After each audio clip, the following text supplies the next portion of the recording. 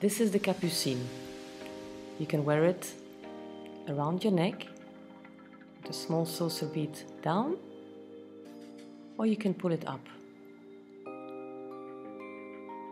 You can also wear it like a scarf. The small saucer bead, you pull it to the end to create a small loop.